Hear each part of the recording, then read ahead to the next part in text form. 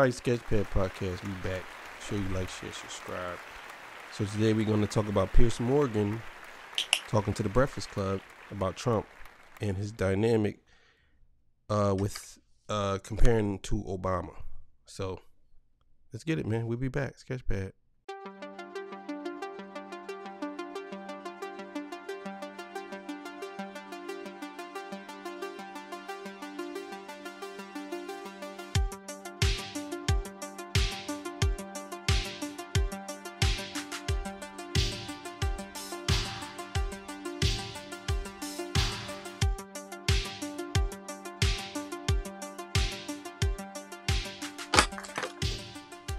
Right, yeah, man, we back, man. Make sure you like, share, subscribe, hit that thumbs up button.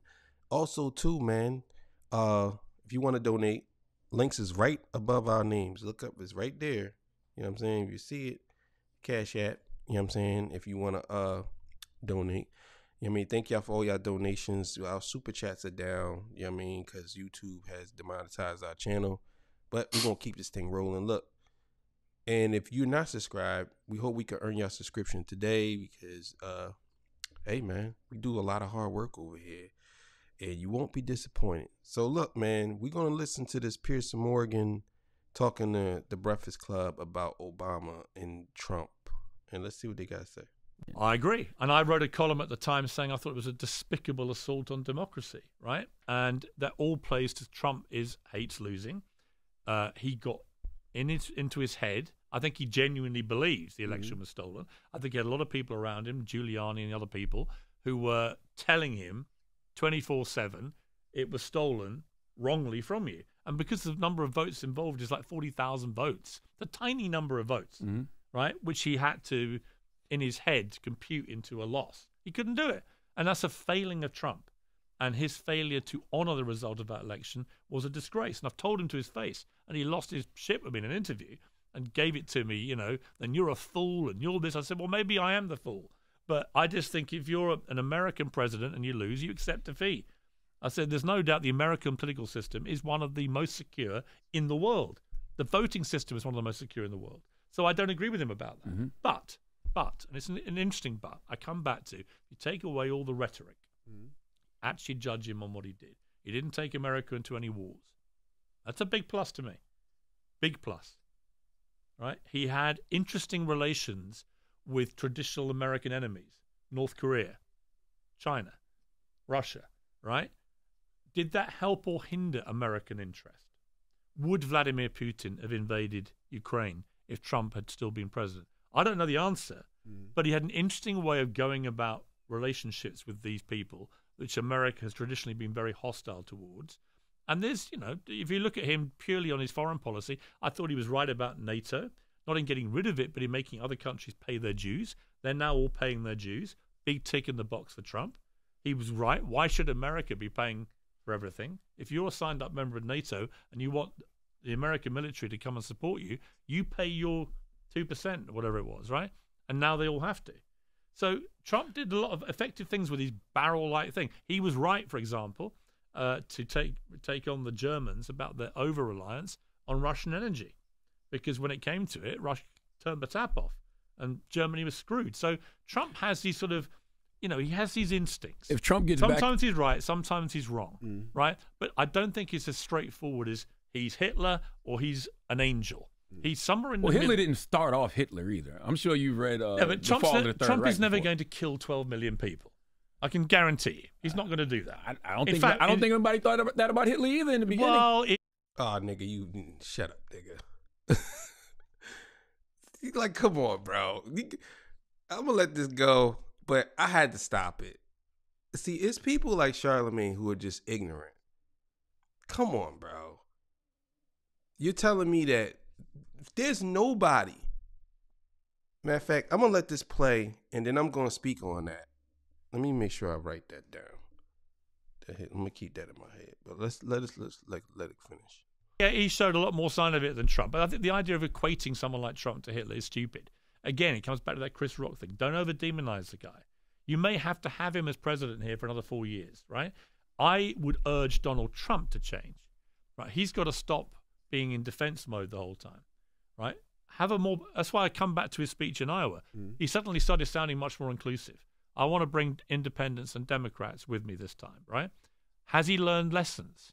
Has he? Does he regret quietly what went on with January? I bet he does, right? Knowing Trump, I bet he does. He'll never admit it, but I bet he does.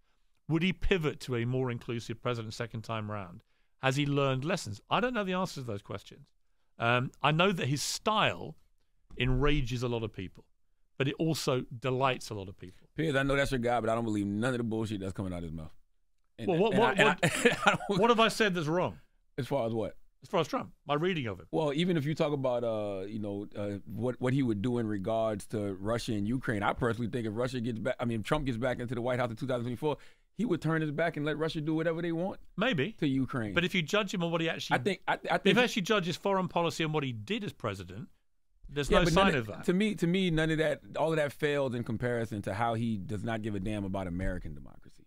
I See, this, this is so this, this is so crazy to me. I got so much to say, and I'm really not trying to make this a long episode, but I got so much to say because it's people like him who. Eh, they- Let me just keep it going. Let me keep it going. I when, agree. you, when, when you got a guy literally saying, "Let's get rid of the Constitution to overturn the Mm. results Mm. of an election," I Like, agree. I'm not like no. Like, I agree. Yeah, I'm not. I agree, I'm- and there's a if very- Ameri- you- he's the I guy agree. who says America first. And there's a very good argument that someone who does that should not be allowed to run again. Absolutely. However, your constitution makes it crystal clear that he can run again. And in fact, Not even the Fourteenth Amendment. The Fourteenth Amendment said if you tried to lead a coup of this country, you are ineligible know, to be president. that, but run for that's, president. let me tell you what's going to happen. The states that have tried to play that card, it'll go to the Supreme Court and they're going to throw it out. You know why? because you've got Republican judges. Yes, that he put in place. Come on, But you know why Cut he it out. you know smart. why- That's not why though. Like that's not why. that's not why. Like I, I, I'm gonna keep it going. You know why he Uh-huh. was able to? Because he was elected your president You're in 2016. You're right. You're so, right. So You're right. the, if Americans didn't want Trump as president, don't vote for him. And the same applies now. Mm. Don't vote for the guy because you know what? If he can pack the Supreme Court with more Republican judges next time round, that's exactly what And he'll you know do. what? As the Democrats will do as well. No, Democrats won't do because they don't have the courage to do that. They could have done things like that. Even when Barack Obama could have implemented Merrick Garland, he chose to follow the rules of democracy because Mitch McConnell That told was him. a- that- Mitch McConnell told him, "Hey, it's too late in your presidency to implement." That was a Court justice." tactical error. Yes, because when when Trump got the uh, chance to do it, he did it, But let me ask and you. Mitch McConnell didn't encourage it. You mentioned Obama. So this is Mm-hmm. an interesting little question I always throw people. Interesting if you guys know the answer. How many uh, immigrants, illegal immigrants, did Barack Obama deport in his eight years as president? oh, I don't know. Have a guess. No clue. No clue. Mm-mm. Interesting, right? Mm. You don't know. I mean, I know it was a lot, but I don't know the exact number. Have a guess. oh, I don't know. Give me, give me a number. I actually have read that it's more than Trump. Give, give me a number. I really don't know. Yes. I don't know. Eight years. Eight years. How I many? don't- How I many? don't know. How many people did he physically have deported in eight years? I have no idea. Well, give me a number. You don't want it, do you? No, I really don't know. I really have don't know no even where to begin. I don't know if it's tens of thousands, millions. I don't know I'm where sure to begin. millions. Hmm? But I've read, I've read The that it answer, was more the than answer Trump. is over three million. He was known as deporter in chief by Mexicans. yes, and Right. that was more than Trump. He deported way more than Yeah, Trump. I he read that. deported way more pro rata than any president in history. Who dropped the most bombs in a calendar year in American history? oh, I, come on, President Barack Obama. Barack Obama, Yeah, yeah, right? know that. Including drone programs and so on, right? Who got elected in 08, 09 on shutting down Guantanamo Bay? Because as a former lawyer, he believed it was an illegal uh, institution. President Barack, Barack Obama. Obama, yeah. What is still open today? Guantanamo Bay. Correct, right? Etc. Etc. Etc. So I know that the general thing is Obama angel, Trump devil. Right. But if you actually apply the scrutiny that we give Trump, put it this way: if Trump had deported three million people, you think you guys wouldn't know that answer? Of course you would, Mhm. right? Nobody knows that answer because nobody thought that way about Saint Barack, and I think that he wasn't Saint Barack, and Trump isn't the devil. Trump has a more devilish way of talking and he has to be held absolutely to account. And it's a very good argument to say after what happened on January the 6th, he shouldn't be allowed to run again, but he is allowed to run again. And in fact, he can be convicted of a crime before the election and still be allowed to run as president. That's insanity. and he could actually go to prison and still be president of the United States constitutionally from a prison cell. Mm-hmm. All right, man. Look, I'll tell you what the problem is here. This is this is this is another level of biasness. I'm talking like when you are at a point where you can't even tell the truth about something. They asked these these two men who who who does journalism even though they're not journalists. Right? Mm-hmm. Charlemagne and Envy, they have one of the most popular black shows of all time, The Breakfast Club. They have on the most the biggest people in politics. This guy did not know that Barack Obama, who is probably the most popular president of the United States ever, they didn't know that he deported more people than Trump.